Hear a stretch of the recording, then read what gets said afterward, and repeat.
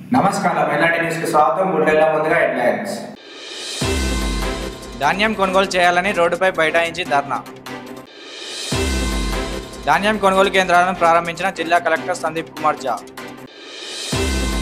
వరి ధాన్యం కొనుగోలు కేంద్రాలను ప్రారంభించిన ఫ్యాక్స్ చైర్మన్ ఏనుగు తిరుపతి రెడ్డి.